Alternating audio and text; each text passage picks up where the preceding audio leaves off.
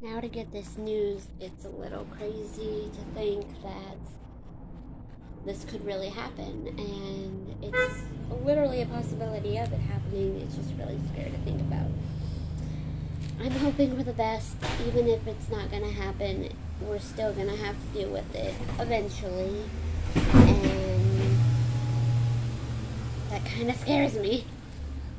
So we'll see how this plays out, but I'm not documenting it more on my Snapchat, just filming the videos at least. Because I know if I film it on here, I'm going to forget what the footage is and then post it and it'd be like, wait, what? And you'd be like, y'all didn't tell me. I don't know. Point is, it's either going to happen or it's not. It's 50 50 shot. I'm scared, but excited. And we'll just see how this goes. We're not going to find out anything until the last minute because that's how they like to do.